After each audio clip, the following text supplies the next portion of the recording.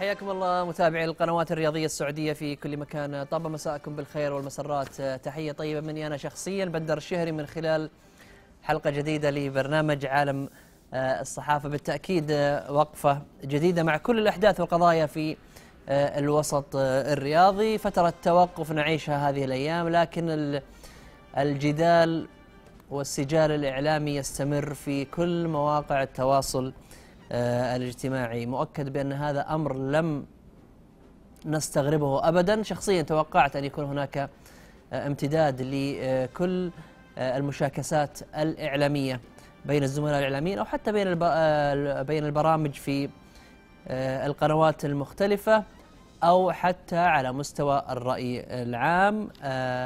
الكل يعرف بأن فترة الانتقالات الشتوية فترة حاسمة ومهمة لكل الأندية لكل الرياضيين لكل الجماهير التي تطمح لأن تصل بأنديتها إلى المستوى الذي دائما تتطلع له ومؤكد بأن الأيام القادمة ستشهد الكثير والكثير من التغيرات على صعيد الانتقالات الشتوية على صعيد أيضا بالنسبة للأندية فيما يتعلق باستعداداتها وتحركاتها للفترة المقبلة. راح نخصص إن شاء الله حديث عن هذه آه، المواضيع كلها بالإضافة إلى مانشتات ومجموعة من العناوين وفقرات أخرى من خلال ساعة كامل نقضيها وإياكم. لا نستغني أبدا عن آرائكم وملاحظاتكم من خلال هاشتاج البرنامج في موقع التواصل الاجتماعي تويتر عالم الصحافة. أرحب بضيفنا لهذا المساء الدكتور نايف الروقي الكاتب آه، والناقد الرياضي المعروف ورئيس تحرير صحيفة المدرج الإلكتروني. حياك الله أبو سامي. أهلا وسهلا. مساء الخير لك أخوي بندر ومساء الخير للمشاهدين والمشاهدات. صعب هالأيام الاعلامي يرأس تحرير صحيفة ولا ولا الوضع بسيط ولا فاته القطار ولا وش نقول عنه؟ والله الوضع مغري من الأحداث اللي عندنا ما شاء الله. إحنا بالنسبة لنا بالنسبة للوسط الرياضي إي. آه وسط غني ومليء بالأحداث والمشاكسات والمشاكل فلذلك آه أقول إن شاء الله إنه مغري مغري للاعلامي انه مثلا يترأس صحيفة مغري حتى حتى لمن يريد الدخول في الإعلام فالامر مغري جدا لوفرة المواد ولوفرة الأحداث. والله أنا أقول كفاية يا دكتور خلاص. ما يعني هل أنا أعتقد إن الإعلام الرياضي تشبع بالمنتسبين. آه ما هي ما هي بتعطيل أو تحجيم لقدرات أحد لكن أنا أتكلم إن الوضع اللي حاصل الآن يعني ليته على سنع. فهمت؟ هو, سببها النظرة الموجودة عندك حقيقة صحيح لكن السبب لأن وسط الرياضي وسط مفتوح. في في الجميع بإمكان الانتساب له من لديه مثلا فكر معين من يحمل مؤهل من لا يحمل مؤهل من آه لذلك آه يعتبر هو أكثر وسط آه مغري. يضم جميع الأطياف جميع وأيضا مغري للانتماء له أيضا الوسط الرياضي من ينتمي يحصل أو يحصل آه، على شهرة لا يمكن في أي مجال آخر. طيب الآن ما آه، بالنسبة لوضع الصحف الرياضية خاصة في فترة توقف تجد ما تتحدث عنه؟ أم أن العملية هي فقط سد فراغ؟ يعني حتى لو كانت أخبار غير صحيحة. لا شوف هو الآن آه، بالنسبة للوسط الرياضي إحنا بالنسبة لنا تويتر يعتبر أنهى بعض الصحف في عملية السبق الصحفي أو التميز صحيح. بخبر معين. أيضا الصحف الإلكترونية الآن استطاعت أن تضع لها يعني مكانة آه، أيضا بالانفراد والسبق في بعض الأخبار. نعم. هذا أثر على الصحف الورقية. لذلك من يقرأ الصحف الورقية لا يحصل على جديد. مم. هو تكرار لما حدث بالأمس. نعم. ممكن الآن جالسين خبر كان ينشر الآن في مواقع التواصل الاجتماعي والصحف الإلكترونية والمواقع. يعني نقول عنها انتهت؟ هي الآن الذكي من يخرج الآن. من الصحف الورقية. من الصحف الورقية حقيقة. حتى الصحف الورقية الآن تعتمد بعضها ما زال إلى الآن آه، معتمد على مثلا توزيع في قراء معينين مرتبطين ارتباط يعني نفسي بالصحف وقراءتها في الصباح لكن الآن الأمر اختلف جدا. أنا أقرأ خبر اليوم في الصحيفة هو منشور في الأمس في مواقع التواصل الاجتماعي فيعتبر خبر بايت. نعم. لذلك الصحف صحف عالمية وفي كثير من بعض الدول الصحف أو الإنتاج الورقي انتهى. نعم. طيب الصحف الإلكترونية أهون؟ مصيبتها أهون من الصحف الورقية؟ والله شوف هي تعتمد على الصحف هناك صحف ممكن مشغلها ثلاثة أربعة أشخاص ولا تعتمد مثلا على مهنية ولا تعتمد تجميع فقط. المادة هناك لا صحف فعلا هي معتمدة على سياسة معينة ولها أطر ولها أيضا معايير وتعتمد على الأسس وال, وال المتعارف عليها والأخلاقيات. لذلك هي تعتمد على من يرأس هذه الصحف ويعمل بها. صحيح. ما بالنسبة للضوابط الإعلامية في الصحف الإلكترونية ما هي بذيك الضوابط اللي دائما أو كنا نتابعها أول في أيام على أيام الصحف الورقية؟ صحيح اختلفت المعايير. السقف ارتفع والمنضمين لها أيضا أحيانا أسماء مجهولة ما تدري مين. هو في البداية عملية السماح لمن يستخرج صحيفة لذلك عدد الصحف كبيرة جدا في السعودية. الآن في في توجه في الوزارة في عملية ضبط هذا هذا التوجه ومن يستطيع آه، أخذ تصريح لاعتماد صحف أو غير ذلك. نعم. لكن في التوجه القادم أنا أشوف الآن البعض يرى بأن الصحف الإلكترونية هي هي الصحف الآن اللي معتمدة من وزارة الإعلام وأيضا الصحف ستلحق بها الصحف الورقية لتأسيس آه، تصبح صحف إلكترونية وليست صحف ورقية نعم. طيب بالنسبة لفترة التوقف آه، دكتور نايف آه، كيف ممكن يستفيد منها الوسط الرياضي؟ أتكلم عن المؤثرين يعني الإعلام الرياضي البرامج الفضائية. وسائل الإعلام بشكل أتكلم عن اللي لهم صوت مسموع. كيف ممكن نستغل فترة التوقف بعيدا عن الضوضاء والضجيج اللي قاعدين نتابعها الآن على غير سنع يعني على على غير قيمة. إحنا نشاهد الآن سجالات إعلامية. أمس وقبل أمس أتابع سجالات بين زملاء إعلاميين والله أحيانا يعني تتأسف. تتأسف من نفسك ودك حتى تعتذر لكل المنتسبين للوسط الرياضي والإعلامي وحتى للجماهير من الألفاظ أو النقاشات اللي تصير بين الزملاء أو بعض الزملاء هذا السؤال أخوي بندر لو كان مطروح هذا السؤال على أن الوسط الرياضي يضم فئة معينة أو شريحة كبيرة فعلا كان يهمها الرأي والصالح العام. م. لكن آه، المتتبع الوسط الرياضي وأنا أكثر من 35 سنة أنا أتابع الوسط الرياضي م. قبل حتى الدخول بشكل رسمي فمن نعم. يتابع الوسط الرياضي يجد أنه وسط آه، المنتسبين له آه، مجرد أشخاص منتمين لأندية معينة. يهدف أو يبحث عن مصلحة أو توجه هذا النادي مم. حتى الأشخاص اللي ليس لهم مثلا أهداف مثلا لمصلحة هذا الشيء هو يبحث عن عن شهرة له أو يبحث عن استمالة مدرج معين. لذلك نعم. لا يهمهم مثلا الصالح العام في حالة التوقف بقدر ما يهمه مصلحة الفريق اللي ينتمي له أو مصلحة الحزب اللي يتبنى وجهته. حتى في في في النادي الواحد تجد هذا التوجه. لا يكون مثلا في نادي ضد نادي لا حتى في النادي الواحد. لذلك سؤال هذا مميز ومهم جدا وكبير لكن أنا أتوقع أنه لا يتوافق مع ما يحدث في وسطنا. طبعا أنا ما أقصي الشريحة المميزة في الوسط هناك نعم. نماذج لكنها قلة وقليلة جدا. نعم. طيب عموما إحنا فقط نوجه رسالة أو نصيحة آه، محب للجماهير والرأي العام آه، الرياضي. يعني هناك صحيح أن هناك بعض آه، النقاشات أو السجالات سواء تحدث بين زملاء إعلاميين أو حتى بين جماهير عشان ما نخصص فئة معينة. فلذلك لابد أو يجب أن نرتقي ونحذر ممن يسعى للارتقاء على أكتافكم على أكتاف الرأي العام على أكتاف الجماهير على أكتاف رياضتنا السعودية على كل ما يخدم مصلحته الشخصية. مثل ما تفضل قبل شوي الدكتور نايف قالوا أن هناك من يسعى لي آه، أجندة خاصة من يسعى لخدمته أو مصلحته الشخصية. إحنا نحذر منهم يجب أو يفترض أن نتعامل معهم بأكثر ثقافة أكثر وعي أكثر إدراك. لا نعزز لهم ولا آه، نسير معهم في نفس المركب بل أن آه، نحاول قدر الإمكان أن نجعل هذه العجلة تتعطل. عجلتهم يجب أن تتعطل حتى نرتقي برياضة وطن حتى نرتقي بالطرح الإعلامي الطرح اللي يفترض أنه يكون عليه. وليس اللي حاصل الآن في الرأي العام الرياضي. هي نصيحة فقط رسالة أردت أن أوصلها من خلال برنامج عالم الصحافة لأني بالفعل آه، يعني من خلال متابعة دقيقة الأيام الماضية في فترة توقف يمكن الأحداث متوقفة والوضع يجب أن يكون هدوء لدعم المنتخب لدعم الرياضة السعودية لمناقشة الكثير من القضايا والإشكالات في الرياضة السعودية وليس لي فقط متابعة سين من الناس أو صاد من الإعلام الرياضي ماذا يقول؟ ماذا يطرح؟ ماذا يريد أن يصل؟ فبالتالي هي رسالة لكل محبي رياضة وطن. نبدأ أول فقرتنا المنشتات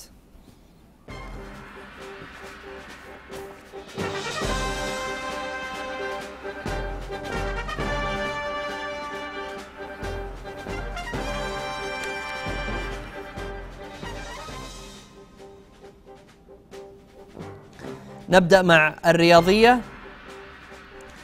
مكافآت الأخضر توقف تحضيرات المونديال.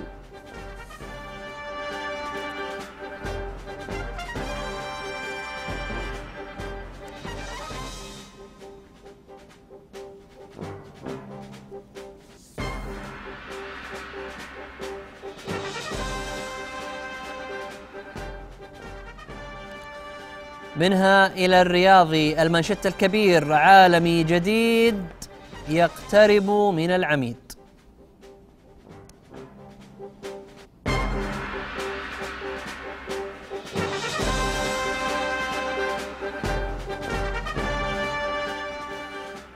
في صحيفة النادي الأخضر فرض سيطرته والهجوم يخذله سلوفينيا مقلب.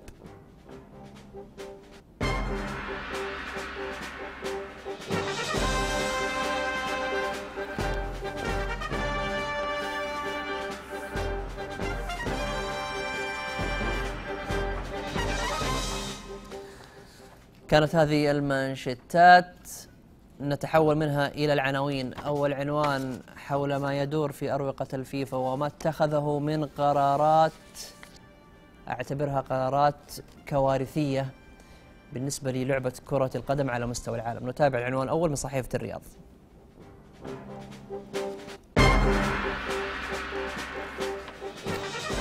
الفيفا يزيد عدد منتخبات كأس العالم إلى 48 اعتبارا من 2026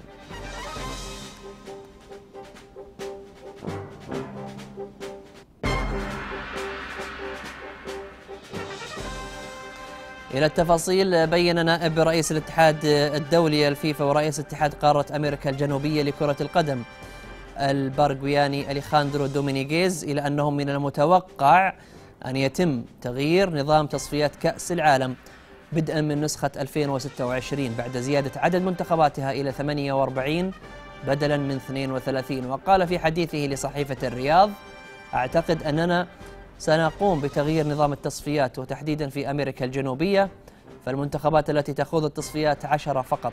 لذا من المتوقع أن يحدث التغيير. قرر الاتحاد الدولي لكرة القدم رفع عدد منتخبات كأس العالم بدءا من 2026 إلى 48 منتخبا بدلا من 32 جاء ذلك بعد أن صوت مجلس الاتحاد الدولي بالإجماع أمس الثلاثاء على تنفيذ مقترح رئيس المجلس السويسري آه، إيفانتينو على أن توزع المنتخبات إلى 48 أو توزع المنتخبات ال 48 على 16 مجموعة.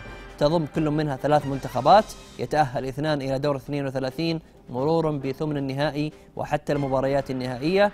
إذا ارتفع عدد المباريات الملعوبة من 64 إلى 80 على أن تقام جميعها خلال المدة الاعتيادية 32 يوما.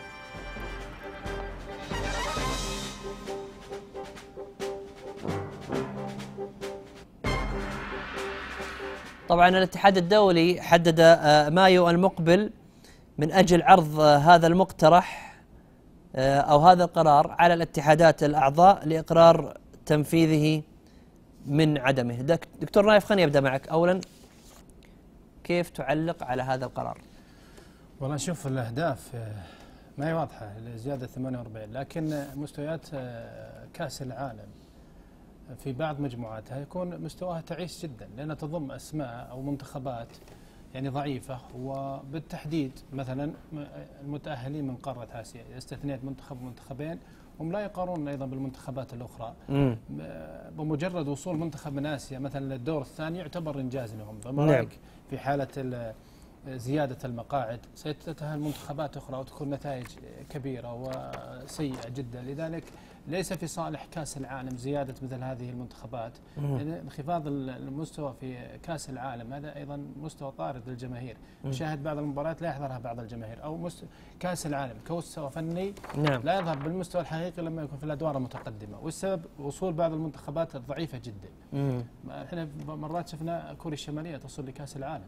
ومرات البحرين نافس لنا شوي يوصل لكأس العالم. هو حق من حقوقهم لكن أن تصل لكأس العالم بمنتخبات أقل من المتوقع فهذه ليست في صالح ال- ال- أو متعة المشاهد. صحيح. ممكن لها أهداف تسويقية واهداف أخرى لكن الحقيقة لا. ممكن الاتحاد يوافق الاتحاد الآسيوي. ممكن على الفكرة حتى تصل بعض منتخبات قارة آسيا لكن الحقيقة آه، ليست في صالح آه، لعبة كأس العالم نهائيا يعني حنا آه، في فترة ماضية في النسخ الماضية لكأس العالم كنا أحيانا ننتقد المستوى الفني القيمة الفنية لأغلب المباريات ما أقول لك بعض أغلب المباريات قيمتها الفنية أقل من المتوقع بل أن مو بل الأكيد بطولة أمم أوروبا صحيح. مستواها وقيمتها الفنية أكبر وأعلى أمتع حتى من كأس العالم صحيح الآن فما بالك الآن وهي 32 فما بالك الآن إذا رفعتها إلى 48 أنا شخصيا أرى بأنها يعني كارثة كبيرة في حق كأس العالم أهم بطولة على مستوى حتى كرة القدم. الوصول لكأس العالم في السابق كان له لذة كذا وصول كأس العالم تحس فيه شيء صحيح. احتفال. الآن الوصول لكأس العالم أي منتخب شارك هنا وتوصل لكأس العالم آه، ما ما ما فيه الهدف ومتعة للمشاهد. بقدر ما فيه مثلا وصول أكثر أعداد منتخبات ولعب مباريات أكثر فقط. نعم. طيب. على هاشتاج عالم الصحافة قبل ما ننتقل لعنواننا القادم عبد الرحيم العمري يقول هل أنت مع أو ضد زيادة عدد المنتخبات المشاركة في كأس العالم؟ أنا شخصيا ضد. الدكتور نايف أكيد أنه من كلامه ضد. ضدها. نعم. محمد الجهني آه، يقول البرنامج مدته ساعة غطوه في المحاور مطروحة بعيدا عن الخروج في الأمور الجانبية. صحيح إحنا عندنا مجموعة من العناوين مجموعة من المنشطات أحيانا فقرات آه، ثابتة في برنامجنا ويجب أن نعطيها حقها بشكل كامل. لكن في بعض الأمور في قضايا في مستجدات فيه غيرة مواطن على رياضة وطن. يعني في ناس محبين مخلصين للرياضة السعودية. في ناس يعني إحنا ترى في برنامجنا هذا مو بس فقط نكتفي بقراءة العناوين ومناقشتها إحنا ترى نقدم رسالة نسعى لأن نقدم رسالة سامية ترتقي برياضة وطن ترتقي بالطرح الإعلامي فبالتالي لابد أن نقدم هذه الرسائل بشكلها آه، الإيجابي. حتى في طريقة تعاطينا أو نقاشنا مع الضيوف لابد أن يكون تعاطي إيجابي وتعاطي آه، ال- ال- ال- الطريقة المتوازنة في الوقوف مسافة واحدة من آه، الجميع سواء على مستوى الإعلاميين أو على مستوى المسؤولين أو على مستوى القضايا الرياضية. زيدان أحمد يقول آه، خش في المواضيع الرياضية المستجدة. عبد الله يقول فترة توقف إعداد المنتخب ساخنة جدا. الانتقالات الشتوية وكالعادة آه، النصر والعمراني وعبد الغني لهم النصيب الأكبر في جميع البرامج. إحنا عندنا عنوان قادم عن الشأن النصراوي ما يحدث فيه من تطورات.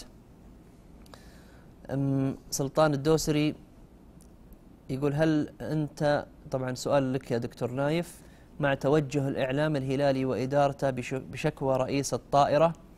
إذا نعم سبق وغرد مسؤول رياضي بنفس الشأن. إحنا أيضا عندنا مساحة راح نتحدث عنها فيما يتعلق بالشأن الهلالي وما يحدث فيه من تطورات. نتحول إلى عنوان آخر عنوان جديد حول الأخضر.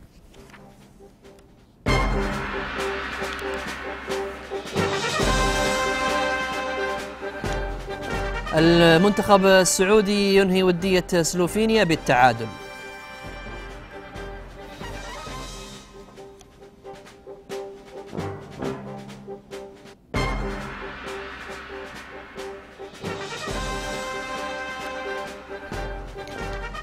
من العنوان إلى التفاصيل خيم التعادل السلبي على المباراة الودية التي جمعت المنتخب السعودي بنظيره السلوفيني أمس الثلاثاء في إطار استعداداتهما للمنافسات الدولية المقبلة.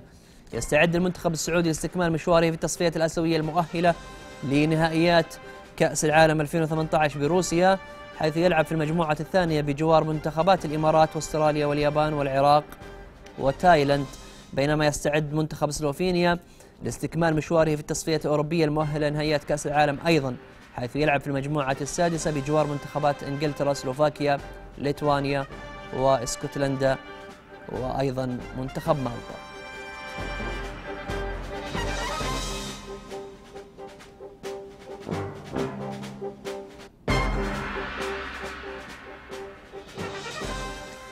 طبعا جاء أيضا في ثنايا هذا الخبر دكتور نايف يذكر أن الشارع الرياضي السعودي ما زال متخوفا من الوهن الهجومي في التصفيات الآسيوية خصوصا أن مهمة الأخضر ما زالت محفوفة بالمخاطر والصعوبات رغم تجاوزه المراحل السابقة بنجاح هل هو بالفعل؟ طبعا قبل لا يبدأ كأس العالم أنا طرحت فكرة أن يكون عند المسؤولين في المنتخب والاتحاد القدم فكرة المنافسة على البطاقة الثالثة. المنتخب الآن البعض يقول تصدر وقدم مستوى جيد. أنا هذا الشيء يحسب بعد توفيق الله عز وجل للمدرب مارفك وللدعوات الصادقة ترافق المنتخب. نعم. آه، منتخبنا يحتاج للكثير.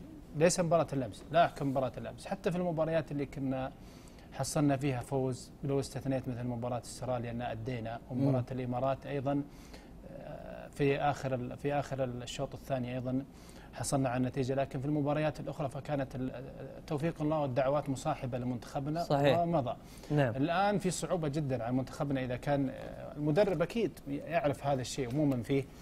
آه، على لاعبي المنتخب السعودي يدركون المرحلة القادمة صعبة جدا. حتى الجمهور الرياضي لابد أن يعرف أن المرحلة القادمة صعبة جدا. ليس معناه أن تصدر لنا ممكن صحيح. نخطف إحدى البطاقتين لا. عندنا صعوبات كبيرة جدا في خط الدفاع عندنا أيضا صعوبات في خط الهجوم لا نستطيع التسجيل. مارفك الآن متذمر من الخط الهجومي. أي سنلعب في تايلاند في الأرض هناك سنلعب في أستراليا في الأرض هناك حتى اليابان في أرضنا هنا لا يمكن نسلم بأن سنكسب النتيجة. لا لذلك أنا أقول إذا الأمور يعني فعلا على وضعيتنا الآن أتمنى أن لا نفقد الأمل كله أقل شيء البطاقة الثالثة، أنا ماني متشائم لكني أنظر للواقع بشكل صحيح. الآن يعني البطاقه الأولى والثانية إحنا بعيدين عنها؟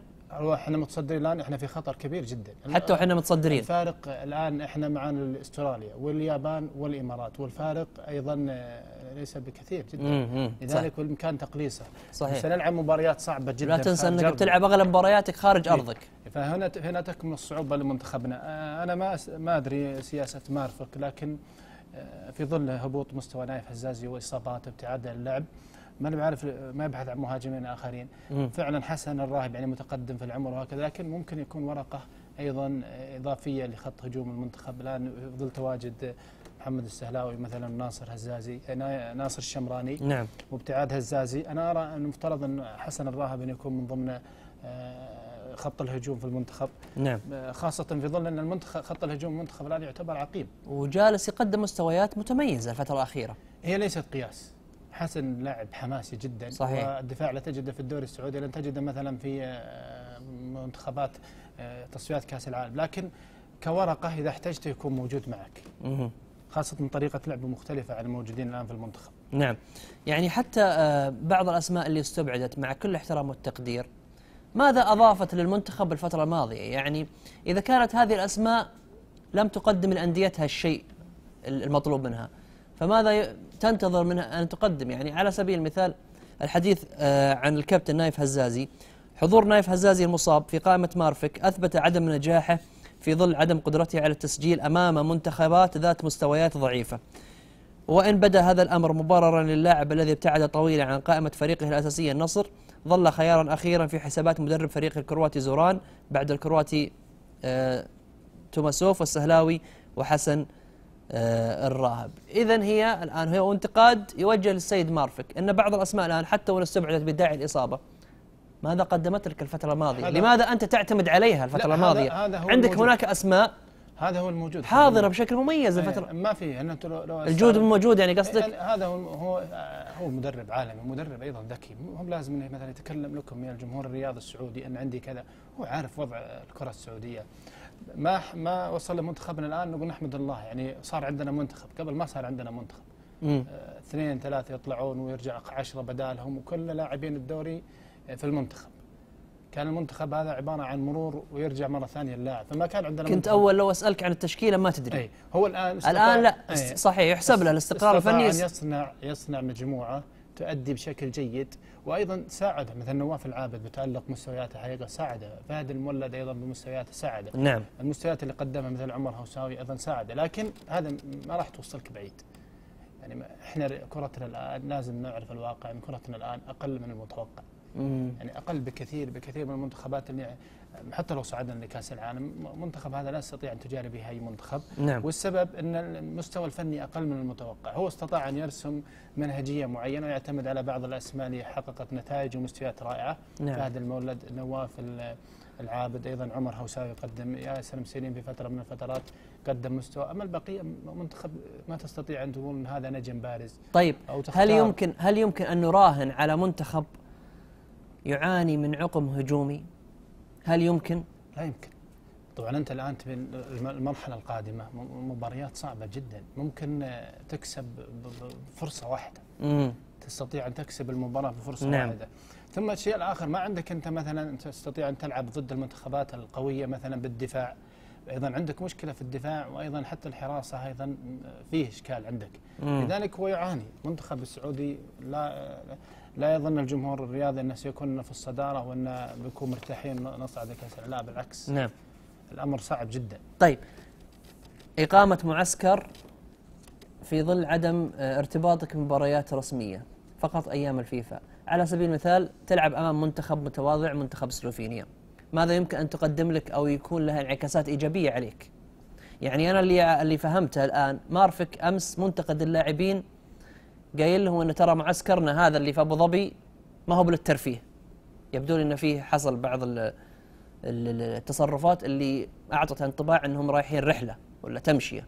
فعاتبهم بقسوة. قال ترى هذا ال- ال- المعسكر ليس للترفيه. وهذا حتى جاي العنوان حتى ماخذينه اليوم صحيفة الرياضي كعنوان فرعي. مارفك للاعبين أبو ظبي ليست للترفيه. طبعا. طيب أنت كمعسكر أو حتى لو تلعب مع مباريات مع منتخبات متواضعة ماذا يمكن أن تقدم لك؟ لا هو آه، إحنا كوسط رياضي دائما يعني شوفوا فيه لازم منتخب قوي ولازم مم. المدرب عنده منهجية ممكن من, من- من أول أهدافه عدم ابتعاد التشكيلة عن بعضهم البعض، التجانس الموجود والتفاهم مم. وأيضا الوقوف على جاهزية بعض الأسماء اللي يحتاجها مثل الموقوفين من لعب بدالهم، فهذا الشيء مهما كان الخصم اللي أبي يلعب معاه مم. أنا أحقق منهجيتي آه، يكون لاعبين أطلع على مستوى البدلاء. فهو حققها في هالمباراة بغض النظر سواء فزنا أو انهزمنا أو كان المنتخب قوي أو ضعيف هو حاول آه، من خلال آه، هذه المباراة مم. أن يطلع على البدلاء ومستوياتهم أيضا يكون اللاعبين قريبين من بعض يرسم خططه للمستقبل أو المنهجية لذلك أنا أرى أن تخطيطه بالعكس ممكن نهاجم على المنتخبات المنتخبات ليست ليست المنتخبات المطلوبة. لكن الحقيقة توجه مارفك السليم وأنا مع مارفك من أول ما تعاقد مع الاتحاد السعودي. أنا مع توجه بما انه يحقق نتائج جيدة والمنتخب معاه أيضا يح- يحقق انتصارات فهذا نعم. هو المطلوب. طيب تجربتنا مع المعسكرات الطويلة ناجحة ولا غير ناجحة؟ والله ما استعرض أنت المشاركات أو المعسكرات السابقة كلها. شوف آه، عمر المنتخب ما راح عمر ال- المعسكرات المنتخب ما راح تحقق لك نتيجة إذا ما كان فيها العناصر اللي تحقق لك النتيجة. يعني من ضمن الأشياء اللي في عام 2002 اخو بندر حققنا معسكر ولعبنا مباريات كبيرة وحققنا نتائج رائعة جدا مم. لدرجة إن يعني أخذنا مقلب في نفسنا فكانت النتائج عكسية جدا. مم. لعبنا في الدمام وفي الرياض وحققنا انتصار على مثلا منتخبات يعني عريقة ولها اسمائها وقدمنا أداء أكثر من رائع نعم والنتيجة وين؟ إذا لم يكن لديك عناصر مؤهلة وقادره على المنافس وملاعبين متفهمين المرحلة القادمة لن تحقق شيء، حتى لو عسكرت من بداية السنة نهايتها أول خمس أيام المسموح فيها الحال من بعضها. طيب باختصار مفيدة ولا غير مفيدة؟ أنا أشوف إنها غير مفيدة صراحة، طويلة مم. لا غير مفيدة. طيب. على هاشتاج عالم الصحافة محمد بن ناجي المري يقول هناك صحفيين سبب في تعصب الشارع الرياضي أنصح المتابع الرياضي ألا آه، يدعهم أن يطلعوا على أكتافهم بالأصح هم دخلاء على الرياضة مم، محمد علي المقنعي يقول اسأل ضيفك نايف الروقي هل نادي النصر سيحقق بطولات في هذا الموسم؟ هو الآن بيلعب على النهائي مم. ممكن يحقق مرشح. مهم. طيب آه، ابن غيث الميموني يقول مشكلة يا بندر أنكم تستضيفون الإعلاميين اللي تكلمت عنهم في حلقات آه، سابقة إحنا نستضيف الإعلامي ما نستضيفه عشان نستضيفه عشان فكرة عشان رأيه عشان ثقافته عشان خبرته عشان تأثيره حتى على آه، الرأي العام اللي يحصل برا إحنا ما لنا علاقة فيه، حمد الحمدة يقول بالعكس زيادة العدد روعة، يتكلم عن زيادة عدد المنتخبات في كأس العالم، لا نعلم ما سيحدث بعد عشر سنوات، انظر الصين الآن كمثال، آه، أبو عبد الله حجيلي يقول من أسباب التعصب في وسط الرياضي بعض العناوين الصحفية الكاذبة والمخلة بالآداب التي تثير الشارع الرياضي دون رقيب أو حسيب. فهودي يقول عندما تشاهد النصر في الملعب تشاهد منافس قوي. وعندما تسمع كلام نايف الروقي تشعر النف- النصر ينافس على الهبوط. نايف طرحك عكس الواقع. ما جبنا النصر اليوم؟ ما ما تكلمنا لا يمكن متابع لك من, قد- من فترات ماضية. لا دائما حتى متابع من أنا ما أناقش وضع النصر الفني. أنا أناقش دائما وضع النصر الاداري. ليس خافي عليهم. بعدين النصر السنة الماضية هذا شوية ينافس على الهبوط يعني ما تنسون. نصر السنة الماضية الثامن وشوية لا ينافس على الهبوط. عجبكم يعني وضع المركز الثامن؟ مع إنه كان بطل الدوري. إيه ويضم اسماء كبيرة.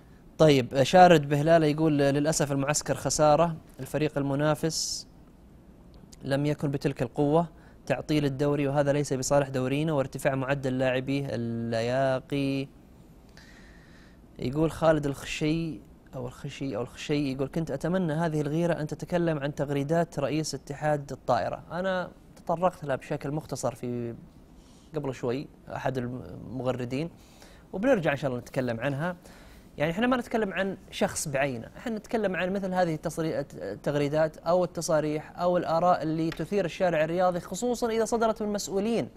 يعني مسؤولين عن رياضة وطن، أكيد انه راح يكون لها تبعات سلبية سلبية للغاية ولعلنا نتذكر تغريدة طيب الذكر الدكتور بخاري. وماذا آه، ماذا يعني صنعت في الشرخ الكبير اللي صنعته هذه التغريدة في آه، الشارع آه، الرياضي. طيب نتحول من المنتخب إلى شؤون الأندية السعودية، أنديتنا أحد هذه الأندية الكبيرة الاتحاد وما يحدث فيه من قضايا مالية وإدارية، نتابع العنوان من صحيفة المدينة.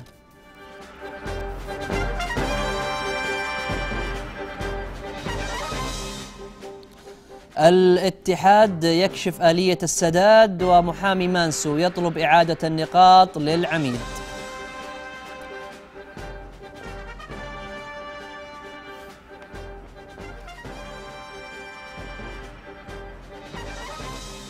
إلى التفاصيل أصدرت إدارة نادي الاتحاد بيانا حول نتائج اجتماعها مع المحامي الإسباني كريسبو وجاء فيه نظرا للظروف الصعبة التي يمر بها نادي الاتحاد فيما يتعلق بملف المطالبات المالية خاصة الخارجية منها حرصا على الوفاء بالالتزامات المالية تجاه الآخرين وتحسب من أن تؤثر تلك المطالبات سلبا على مسيرة الفريق الأول لكرة القدم الذي يواصل مشواره مع بداية الموسم بنجاح. ولله الحمد فقد قرر مجلس الإدارة تشكيل وفد يمثله برئاسة المهندس حاتم باعشن رئيس مجلس الإدارة وعضوية الدكتور أحمد السقاف. أمين الصندوق والدكتور ماهر عبد الفتاح عضو مجلس الإدارة المستشار القانوني للتوجه إلى إسبانيا والاجتماع بمحامي النادي كريسبو لحضر آه للاطلاع على ملف القضايا والوقوف على تفاصيلها الدقيقة والتعامل معها بما يخدم مصلحة النادي وتفادي أي إجراءات مستقبلية ضده. طبعا بعد الاجتماع مع المحامي تم التوصل إلى عدة نقاط آه، اولا اعتماد آلية سداد المبالغ المستحقة للآخرين بما يحفظ مصلحة النادي بالاتفاق مع كافة الاطراف الأطراف. ثانيا امتدادا لجهود الإدارة وسعيها لاستعادة النقاط. الثلاث تجاوب المحامي مع هذه الجهود. خاطب لجنة الانضباط بالاتحاد الدولي لكرة القدم بشأن إلغاء هذا السحب وإعادتها آه، لنادي الاتحاد. أيضا ثالثا أكد المحامي أن مرحلة الدراسة والتحقيق في قضية اللاعب سعيد المولد اكتملت تماما من كافة الجوانب في انتظار تحديد موعد نهائي للنطق بالحكم في القضية.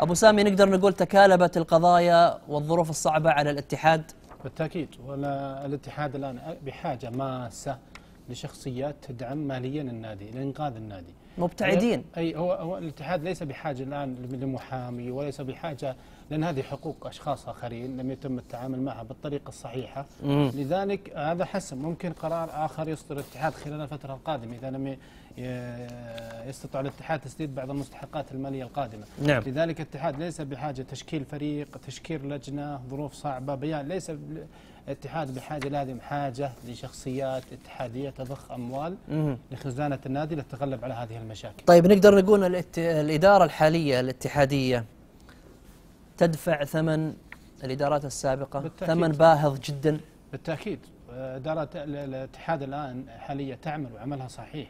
جالسة آه، بعض بعض المطالب المالية وأيضا بعض حتى الفريق على المستوى الفني عملت. لذلك هي تراكم إدارات سابقة. ما أعرف كيف الإدارة هذا هذه تحملها أيضا الهيئة. ما نعم. أعرف كيف إدارة تدبس النادي في كمية من الملايين ثم تمشي بدون آه، أي محاسبة بدون أي أصلا حتى استلام وتسليم للإدارة اللي بعدها. هم يتفاجئون بين فترة وفترة بقضية. على أن نادي الاتحاد في الفيفا. وقضايا صحيحة يعني ما في قضايا الآن نسحب النقاط واللاعب من فترة يطالبهم بحقوقهم لذلك الاتحاد أنا أقول لك بحاجة ماسة الاتحاد والنصر بحاجة ماسة لمن يدفع ماليا للتغلب على هذه المشاكل. مهما كان كلفت محامي وما كان شطارة هذا المحامي لا يمكن آه، بعض القضايا أن يخرج منها الاتحاد نهائيا. لأن قضايا حقوقية متعلقة بلاعبين. وليتك تتكلم عن مليون مليونين عشرة. تتكلم عن إذا كان قضية لحالها قضية اللاعب سوزا 34 مليون. يعني فما بالك بالقضايا الأخرى؟ هو أحيانا آه، هي مؤسسات حكومية الأندية. فلما تحول لحق التجارب أو لأملاك خاصة انتظر مثل هذه الأشياء. مم. الاتحاد كان عنده مجموعة اسمها مجموعة المستقبل أو مجموعة هي جابت له لاعب بالمبلغ الباهظ هذا. نعم. وأيضا آه، لاعبين تعاقدوا معهم خلال فترة مشوا وبعد أربع سنوات خرجت المطالب المالية موجودة. الاتحاد خلال الفترة الماضية لم لم يوفق في رئيس نادي إداري فاهم صح؟ نعم. ولا في إدارة آه، تركيبة إدارية اللي فاهم في, في الاحتراف واللي فاهم في آه، في الأمور القانونية. لذلك قضايا الاتحاد الآن متراكمة ووضع الاتحاد خطير جدا. نعم. إذا لم يجد من يمول الآن تسديد فقط. لا تبحثون عن موضوع مخرج من محامي ولا تسديد. طيب حتى لا يتعرض النادي لعقوبات. أنت تدري أن نادي الاتحاد يمتلك أكبر قاعدة شرفية على مستوى الأندية السعودية؟ تدري عن هذا الشيء ولا ما تدري؟ حتى حتى لو امتلك. خلني أقول لك الآن نادي الاتحاد يمتلك أكبر قاعدة من أعضاء الشرف. وأغلبهم ما راح أقول كلهم من الطبقة المخملية اللي يمتلكون ثراء فاحش. كيف ممكن يقفون مع النادي الآن وهم أساسا عندهم مشاكل مع بعض التوجهات للإدارة الحالية أو الإدارات السابقة. عازفين تماما من الدعم. يعني هل ممكن نقدم لهم انتقاد قاسي عتب؟ يعني ناديكم الآن ينتخيكم. ناديكم الآن ينتظر فزعتكم. هل يمكن؟ هل يرضيكم؟ هل يرضيكم أنتم يا أعضاء الشرف المؤثرين المحبين للكيان الاتحادي؟ اللي قاعد يصير الآن في الكيان الاتحادي في البيت الاتحادي هل يرضيكم ما يحدث فيه؟ يعني إحنا قاعدين نتفرج إيش قاعد يصير؟ أنا كل يوم أتوقع الاتحاد بكرة نتكلم عن قضية جديدة. أنا هنا في هذا البرنامج كل يوم أفتح قضية جديدة. كل ما خلصنا موضوع جانا موضوع آخر. فهل هذا نحمل مسؤولية بشكل كامل لأعضاء الشرف اللي حاجبين دعمهم عن البيت الاتحادي أو الكيان الاتحادي؟ شوف أنا بقول لك شيء ممكن البعض ما يبغى يتطرق لهذا الجانب. آه، إحنا رياضتنا تأسيسها خطأ تاسيس الإداري. امم إحنا كنا نعمل في ال- الهواة الناس يحبون كرة القدم موهوب من الحارة يجيب كشاف أو محب للنادي يلعب وموهبة مو- يوسف ثنية من الحواري ماجد سامي ودخلوا وحققوا لنا إنجازات في الهواة نعم. دخلنا في الاحتراف. امم لما دخلنا في الاحتراف ما كان هناك قيادات إدارية مؤهلة صح. حتى ال- ال- المدح اللي ينثرونه على عملية الموجودة الآن يرشون به الإدارات لا يوجد من من تطبيق الاحتراف إلى اليوم مم. لا يوجد شخصية قيادية إدارية صحيحة وأنا أستثني شخص واحد هو خالد البلطان. فقط. امم البقية لا يوجد نهائيا معتمد على مجموعة شلة معاه ومجموعة سماسرة. وتصني أول قبل ما يفاوض ال- اللي يفاوضون اللاعبين من عشر سنوات يوصلني النادي بيفاوض هذا اللاعب. يعني أنت تقصد إن. إدارة البلطان كانت إدارة ناجحة. إدارة ناجحة. طيب هذا على مستوى آه، الأندية السعودية. إحنا نتكلم عن الاتحاد. من بدانا هو نادي الاتحاد ما في إدارة ناجحة مرت عليه؟ الموجود في الاتحاد الآن الموجود في الاتحاد. هو موجود في النصر هو موجود في الهلال هو موجود في الأهلي في جميع الأندية عندنا. إحنا دخلنا في الاحتراف كأسماء وك كأنظمة ورواتب وعقود إلى آخره. لكن الإدارة عندنا ما زالت متخلفة لم تصل لإدارات المحترفة اللي يمارس وهناك ناس مختصين فيه. هو رئيس النادي. صح المغرب جاء للتمرين. فازوا ببطولة لكم 150 ألف. ما فازوا يومين اختفى عنهم. طيب منصور ف- بلوي ما كان آه، يدير النادي كان- بشكل كان منصور ممتاز؟ بلوي منصور بلوي كان ما نقدر نقول عن إدارته لا لا, لا ما كانت ناجحة لأن ال- كمنجز ناجحة. أنا أقول لك كعمل إداري لما منصور بلوي كان يعوض الأمور بالمادة. موجودة المادة مشكلة تم حلها طيب. لاعبين تم حلها أنا كجمهور وش يهمني؟ أنا يهمني ان أنت- فريقي إيه. حاضر في المنافسة أنت في تتكلم الواجهة أنت يحقق لا، بطولات أنت- هذه اللي حققها منصور بلوي انت تتكلم كجمهور وأنا أتكلم كواحد يتابع آه، مصلحة الكرة السعودية. ومفترض الهيئة لابد ان هناك ورش عمل وهناك تشريعات رئيس النادي وأي واحد ممكن بعضهم ما- شخص محترم ويعمل ويمتلك شهادات لكنه فاشل في العمل الإداري. مم. لذلك الفشل اللي يصل الآن من الأنديتنا إلى الفيفا. أنا أتوقع لك لو عملت أكثر أندية في في العالم يصل مشاكلها للفيفا. طيب عشان هذه نختم الأندية. عشان نختم في موضوع الاتحاد من اللي يتحمل بس أنا مسؤولية؟ بختم لك هالجزئية. إحنا لابد أن يعاد هيكلة الأمور الإدارية في الكرة السعودية. طيب الآن من اللي يتحمل المسؤوليه اللي قاعدة تصير في نادي الاتحاد؟ والله شوف أنا أحملها الإدارات اللي مرت على نادي الاتحاد اولا والهيئة. كيف يغادر رئيس نادي ومحمل النادي ديون بهالسهوله طيب أنا برأس النادي وجميع الصفقات بوقع عليها. كلها مقدمة تتكلم عن شيء. الإدارة السابقة؟ الإدارة السابقة والإدارة اللي قبل الاتحاد عانى من من من ابتعاد منصور بلوي ما بعد الإدارات كانت إدارات أقل من نادي الاتحاد. حتى إدارة إبراهيم البلوي ممكن الجمهور كان متعشم كثير بحكم إنه عمل مع إبراهيم لكن إبراهيم البلوي أقل بكثير من الاتحاد احترامي الشخصي له. نعم وغادر بطريقة غير مناسبة. غادر المشهد الاتحادي صحيح. والآن يمكن حتى انقلبوا عليه اللي كانوا معاه أو كانوا يقفون معه لما تكشفت الأمور واتضحت الحقائق يمكن تغيرت آرائهم فيه بشكل لأن كبير. العمل الإداري هو يفرض نفسه. أنا أبشرك الآن بخالد البلطان لأنه لما خرج من الشباب كان الأمور كلها مسددة واضحه ثم خروجه الآن ماذا؟ تأثر الش- الشباب بشكل كبير. طيب سعد القفيلي على الهاشتاج يقول سؤالي للروقي هل عودة منصور بلوي لرئاسة الاتحاد تحل مشكلة الديون؟ ما تحت عنده فلوس طيب. أنت تقول الاتحاد- يحتاج واحد يدعم. ليه ما دعم إبراهيم؟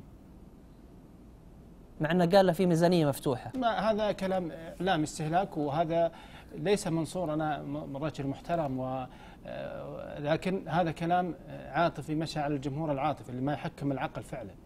في وين الواحد؟ أنا كرجل أعمال عندي يعني قصدك إنه ضحك على الجماهير؟ أنا عندي س... لا ما كانت العمل اللي قدم إبراهيم ما كان متوقع من إبراهيم إنه يحقق مثل هذا العمل. امم عمل أقل من المتوقع خاصة إنه انتخب وكان هناك زخم إعلامي كبير وعنده إرث سابق.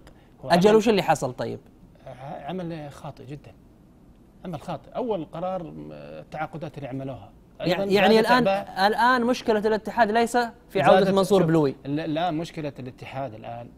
المشاكل الاداريه متسلسلة من الإدارات السابقة. مم. فلو يعود له منصور بلوي أو يعود لاي شخص آخر ما يستطيع حل هذه الأمور لأن نادي كبير يبحث عن بطولات آه، مشاكل كثيرة وصلت إلى وصلت إلى إلى قرارات الانضباط.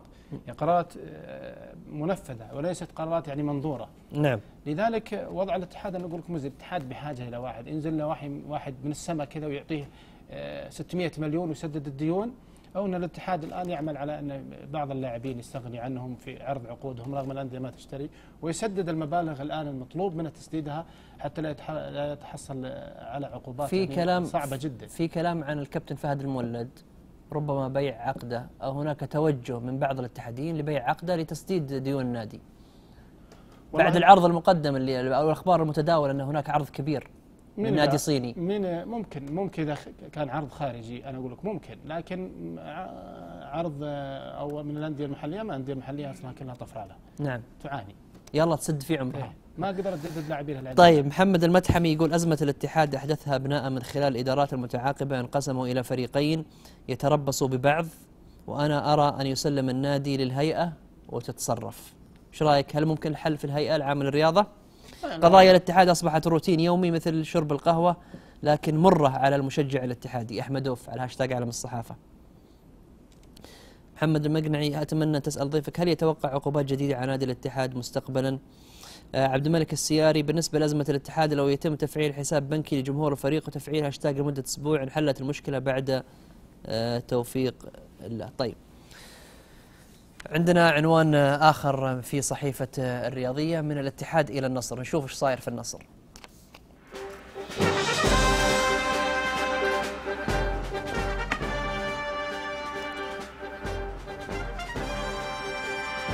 اجتماع ينهي خلافات زوران وعبد الغني.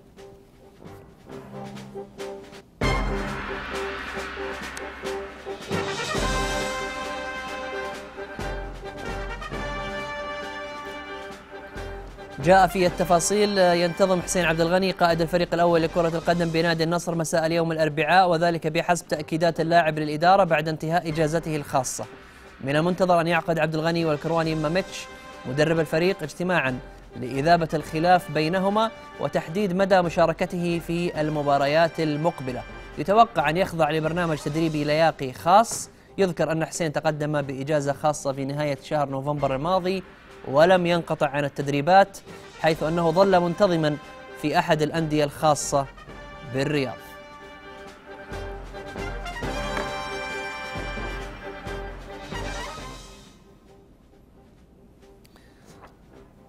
دكتور نايف عودة الكابتن حسين عبد الغني للتدريبات من جديد أو انضمامه لتشكيلة زوران. هي عودة للمربع الأول. عودة لإثارة المشاكل عودة للضعف الفني عودة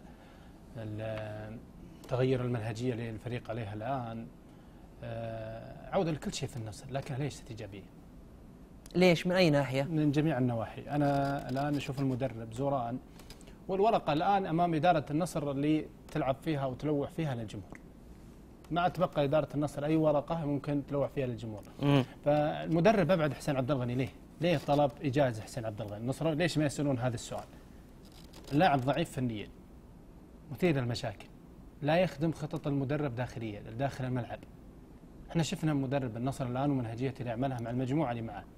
فإذا كان النصراويين يهمهم النصر حسين عبد الغني آه أوكي خلوه يتمرن يكون جنب لكن لا يدخل تشكيلة الفريق أو أو مع أو مع عناصر الفريق.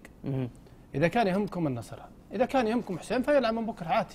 طيب. خلوا الفريق يلعب عشرة. السيد زوران تتوقع إنه ما يعرف الكلام هذا؟ زوران الآن يعني يعني السيد زوران ما قبل بالمصالحة شف شف إلا لأنه ينوي فتح صفحة جديدة، شف ليش إحنا ما نفتح مع صفحة هي جديدة؟ هي, هي مش خلاف شخصي عشان يفتح صفحة جديدة، يفتح صفحة جديدة إيش؟ إحنا شايفين مستوى اللاعب في الملعب. لا انتظم انتظم. هو منطقة. ولا تكرر تصرفاتك السابقة. حسين أنت من ضمن أوراقي. حسين من اللاعبين المنتظمين والمواظبين بشكل كبير. أنت لكن أنتظم أخلاقيا نظاميا ضباطيا سلوكيا حتى مع زملائك. هو الآن في إحنا حسين منضبط. منضبط فني المواظبة والتدريبات وغيره. لكن حسين عبد الغني الآن عمر له دور. والله له دور. حسين عبد الغني الآن اللاعبين اللي يلعبون في الفريق الأول لما كان يلعب ما ولدوا. ما جو على الدنيا ذي. فحسين عبد الغني مفترض الآن إذا كان النصراويين يحبون حسين عبد الغني خلوه يلعب معكم عادي يرجع لكن تصدقوني صار حسين أفضل من النصر أو أهم من النصر في المراتب. زوران إذا قبل بهذه المهمة فهو لا يخرج عن امرين. إما أن الرجل خلاص تم تحجيمه ومحاصرته وفرض عليه أو أن الأمر خلاص المدرب يبغى ينهي الموسم بأي طريقة ويمشي. طيب الأخبار اللي طلعت ويمشي. الأخبار اللي طلعت بأن هناك نية لتجديد عقده لموسم آخر. أه بالله بيان صادر أنا من نادي النصر أنا, أنا بالله عليك أقول الآن وأمام الجميع. أنا شخصيا قرأت بالله عليك الآن هل في نادي محترف يخرج بيان؟ ترى عندنا نية نجدد المدرب. لا, لا عشان هذا نادي محترف تخرج منه. عشان أوضح للرأي العام من باب مسؤوليتي تجاه الجمهور النصراوي بعد الأقاويل اللي ظهرت الأيام الأخيرة. معاه وقع معاه أنت جاد وقع معاه ثم أعلن الجمهور أنه وقعنا معه لا أنا أبغى أبين للجماهير موقفي موقفي من السيد زوران اللي ظهرت عليها قاويل بأن هناك ربما إقالة، ربما إبعاد، ربما تحجيم، ربما تدخلات. آه أنا أبغى أبين الجماهير النصراوية أني أنا عندي نية لتجديد العقد. أنا أقول لك شيء، هو فيه بند في عقد زوران يحق لإدارة النصر تمديد العقد وفي حالة أنه انهاء عقده يدفع له ثلاث آه، رواتب كشرط جزائي. وفي حالة أن المدرب آه، رفض يدفع هو ثلاث فالبند هذا استغلت إدارة النصر هذا البند وأعلنت للجمهور أن بإمكاننا نمدد عقد زوران. زوران سيمدد عقده بشرط واحد إذا وافق على أن حسين يعود التدريبات ويلعب في التشكيلة الأساسية فسيمدد ممكن عقد زوران. غير كذا لن يمدد عقد طب ليش إحنا معليش دكتور لأن أنا أقول لك لأن اللي ليش كل مشكلة تصير في النصر الآن؟ من كلامك طبعا. ليش كل مشكلة الآن أربطها بشكل مباشر في الكابتن حسين عبد الغني؟ لأن الم... الآن إبعاد حسين عبد الغني الآن النصراويين نعيد حسين عبد إبعاد حسين عبد الغني ليه؟ لل- للواحد اثنين ثلاث من المشاكل اللي حصلت فنيا وأيضا انضباطيا للاعب. هذا بسبب هذه الأشياء أبعد حسين عبد الغني وحقق الفريق نتائج مميزة أولها وصوله لكأس ولي العهد وفي الدوري يقدم مستويات جيدة لذلك النصراويين يعرفون وضع فريقهم الآن فريق فريق أخوي بندر فريق منتخب والله منتخب. كامل من جميع الصفوف. لذلك عودة حسين أنا أقول ليست في صالح النصر. في حالة مشي زوران بنشوف من نفس كنفار ودا سلفا والمدربين اللي طيب أنت وش وش استنتاجك ل مثل ما قلت محاولات إعادة حسين آه، ل آه، أنا تشكيل نصراويه أنا أنت تقول لنا فرض يعني فرض من مين؟ فرض من لا- الاداره لا. مثلا على زوران؟ أكيد من الإدارة من فرض منين؟ أنا معناته أنت يا المدرب ما عندك رأي ولا عندك صوت. علما أن المدرب الفترة الماضية اللي تابعناه كان مدرب صارم. هو صارم. لو مو صارم ما بعد حسين عبد الغني. طيب. هو صارم. كيف الآن أجل يقبل بأنه يفرض. عليه الآن؟ الآن بقي هو زوران. حسين صادم بدر حقباني ومشي بدر حقباني. مع العمراني ومشي العمراني. طبعا ما كان في صدام ظاهري لكن كان واضح جدا إن العمراني داعم للمدرب بقي المدرب. مم. وأنا أعطيت لك احتمالات المدرب. في حالة بقى المدرب وافق على عودة حسين عبد الغني فسيستمر المدرب. ما وافق عليه فربما ينهى عقده ثلاث رواتب ويمسك الباب. طيب. لذلك أنا أقول لك الآن إذا كان النصرانيون يحبون النصر فعلا فيستمرون على ما وضعهم الآن. والفريق ممكن في نهاية الموسم تشوفه متوج بالدوري ومتوج ببطولة أخرى وبطولتين. الفريق الآن يسير بطريقة صحيحة، يا أخي مدرب عنده كاريزما خاصة، عنده طريقة آلية خاصة، غير في الطريقة، فاجأ الخصوم تفوق على مدرب كبير زي دياز، أتوقع إن أي نادي عنده مدرب زي هذا المدرب يعض عليه بالنواجذ. من زمان يعني ما شفت بعد كارينو يدرب النصر مدرب بهذا أفضل من كارينو ترى. النتائج خدمت كارينو والدعم الجماهيري لكن ما ما عاناه المدرب هذا مع النصر؟ ومع النتائج اللي حققها هذا شيء إيجابي كبير جدا. لكن أنا لو أشوف دعم النصراويه لحسين عبد الغني الجمهور يعني ما في شيء شخصي. أنا شيء يهمني مصلحة النصر. مم. الدعم الكبير يجد حسين عبد الغني أنا لو المحصلة وين؟ حسين عبد الغني لا مستوى فني صح ولا انضباطي.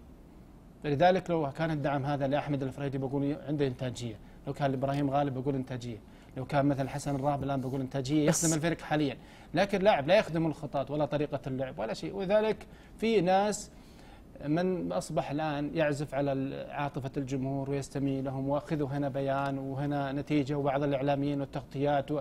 طيب وين دور الإدارة النصراويه من هذا الموضوع؟ لاعب منتهي فنيا. بالنسبة لك؟ أنا بن... حتى للمدرب والله لو المدرب عارف إن حسين عبد الغني بيأدي أنا أعرف إن الكلام هذا يزعل النصراويين لكن هذه الحقيقة. مم. حسين عبد الغني بتلعب يا حسين عبد الغني وتبي تلعب كرة اشتر لك نادي يا أخي أنت رجل ذري روح شوف لك نادي والعب معهم. ما ما في إشكال. طيب لكن جمهور يحترق وفريق في عزة يحقق بطولتين ترى صعبة جدا. الهلال لما استلم البطولات موقف لما جاب 30 بطولة. الاتحاد نفس الشيء.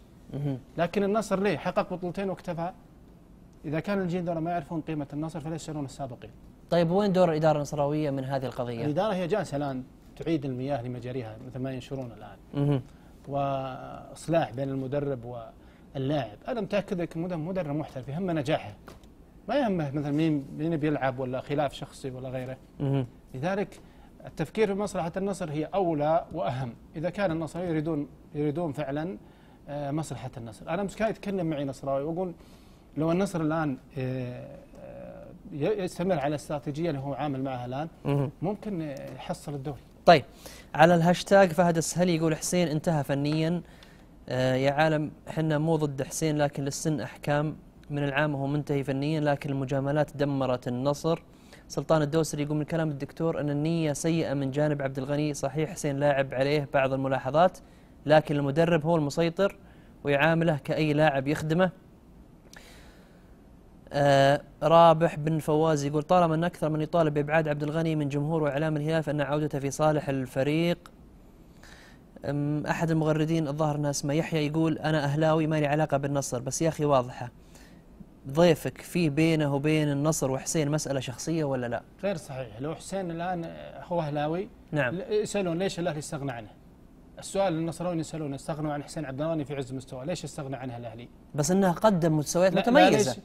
هو قدم أنا أقول لك إنه قدم فترة مع يعني النصر. لا يمكن أن نقصيه عن الإنجاز اللي حققه النصر لا لا شوف 2014 و2013 شوف لا هو قدم مستويات لما كان يؤدي الآن لا يؤدي اللاعب، مم. اللاعب الآن وجوده يثار عن المشاكل وضعف فني. زحل العالمي يقول يجب إبعاد عبد الغني عن المباريات القوية وضعه على الدكة بحك آه، ب- العمر يحكم تبقى أسطورة الأساطير يظل أسطورة أي أسطورة هذا إذا أسطورة شو يقول عن ماجد وش يقول عن هرفي بس في بعض النصراويين يص- يصفون هو أو شوف آه، نصراويين يصفون حسين عبد الغني من ضمن الأساطير. نصراويين. إحنا وش مع أول شيء ترى أخوي بندر أنا ما اؤمن بالاساطير لأن الأسطورة في معناها الحقيقي خرافة.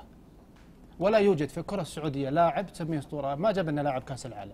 هل في لاعب أخذ كأس العالم جاب يعني؟ ما عندنا أسطورة؟ ما عندنا. إحنا نسمي إحنا حتى ماجد عبد الله إحنا نشوف شوف حتى ماجد عبد الله؟ شو خليني أقول لك. إحنا مشكلتنا ما ما نفرق بين عاطفتنا والواقع. إحنا اللاعب لو جاب لنا المنتخب السعودي حصل على كأس العالم وجاب لنا لاعب كما عمل مارادونا أنا أقول عنها أسطورة. في نجوم أصحاب مستويات كبيرة جدا حققوا ما عندنا أي لاعب يطلق عليه لقب أسطورة. نهائيا. ولا ماجد. نهائيا. ولا آه، اذا إذا يوسف ثنيان ولا سامي ولا- إذا الج- إذا الجمهور الآن أطلق على حسين عبد الغني أسطورة حتى أنا بطلق على عبد العزيز الجنوبي أسطورة. حقق مع النصر كأس آسيا مرتين وحقق مع الدوري مرتين وكأس الخليج مرتين وكأس الاتحاد مرتين. طيب. أكثر مما حققه هو. طيب بس في أشياء متفقين عليها. لا، شوف، ما يعني إحنا ما نختلف على ماجد عبد. الله معليش. ما نختلف على يوسف الثنيان. ما نختلف على محمد الدعيع ما نختلف على نجوم. محمد نور كل كلهم نجوم تاريخيين يعني في اسماء. في أسماء مع احترامي لرايك ابو أبو سامي في أسماء متفق عليها لا، متفق من أي ناحية؟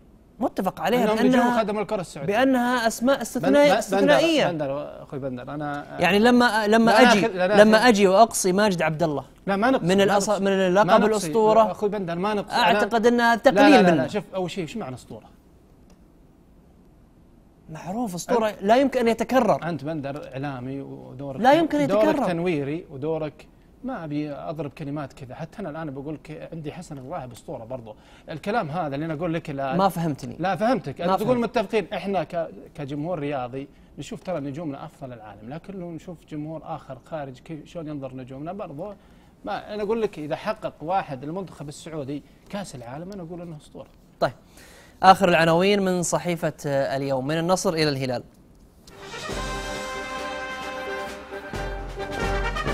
بأمر المدرب والرئيس الزلزال خارج حسابات الهلال.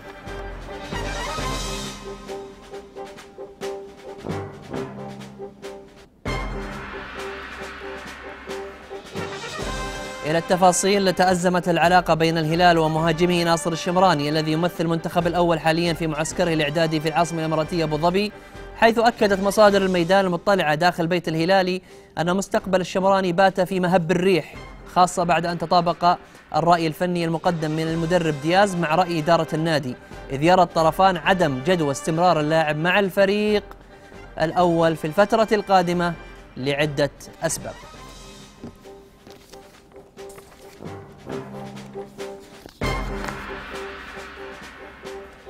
دكتور نايف ناصر شمراني باختصار هل ممكن يضيف فنيا الفترة القادمة للهلال؟ والآن آه، في أواخر آه، مستواه الفني وأيضا آه، حسب ما حصل غير منضبط. فناصر الهلال يحتاجه لعدم وجود يعني ناصر, هو الثاني المهاجم الثاني في الهلال بعد المهاجم البرازيلي ليو نعم. لذلك المدرب ممكن يحتاج لكن فنيا وكفريق يبحث عن بطولات أنا لو كنت في إدارة الهلال استغنيت عن ناصر وعن ياسر لاعبين خلاص تقدم فيهم العمر بالذات ياسر ومستواهم نعم. الفني انتهى ممكن من ثلاث مواسم. نعم. لذلك بقاهم في الف... في تشكيله على حساب لاعب صاعد. نعم. طيب على الهاشتاج آه، واحد اسمه منحاش من المدرسة. يقول بندر الشهري يسقط على ماجد عبد الله. أنا أسقطت عليه أبو سامي قبل شوي. أنا أقول إذا ما عدينا الكابتن ماجد عبد الله من ضمن الأساطير من بقى أسماء نعدها من ضمن الأساطير. يعني ماجد عبد الله أعتقد أنه يعني حالة استثنائية. لا يمكن حتى أن آه، نتحدث عنه بهذه آه، الطريقة. الكاب- كابتن ماجد عبد الله إذا ما كان هو على رأس قائمة الأساطير من ممكن يكون على رأس هذه القائمة؟ هذا رأيي الشخصي ورأي الغالبية من الوسط الرياضي. إذا كان الدكتور نايف الروقي له رأي آخر يحترم ويقدر على العين والرأس حتى وإن لم نتفق مع رأيه لا يمكن آه، أن, أن, أن نصادر رأيه أو نقصي رأيه. أو حتى نرفض الرأي اللي قدمه إذا كان في حدود الرأي. أما إذا خرجنا عن حدود الرأي لا عاد هذا أمر آخر. شكرا لك أبو سامي. اوضح لك نقطه إحنا الآن لما نقول آه، كل واحد يسمي أسطورة أنا بمصطلح أسطورة ما- خدم ماجد عبد الله الكره السعودية بشكل غير طبيعي مم. وقيمة كبيرة وإمكانيات كبيرة. نعم. لكن حتى أنا لا يوجد الكرة السعودية لاعب تستحق عليه رغم إني أنا متحفظ على مفردة الأسطورة هذه اللي موجودة عندنا. نعم. شكرا لك دكتور نايف الروقي الكاتب والخبير الرياضي والناقد المعروف ورئيس تحرير صحيفة المدرج الإلكتروني. يعطيك العافية أبو سامي. شكرا لك. استمتعت اليوم معك. شاكر لك ساعة مرت هوا. شكرا. ها؟ الله يحفظك. حبيبي شكرا لك إياك. سامي. شكرا لكم مشاهدينا. كل التحايا من فريق العمل غدا. إن شاء الله موعد جديد. في أمان الله.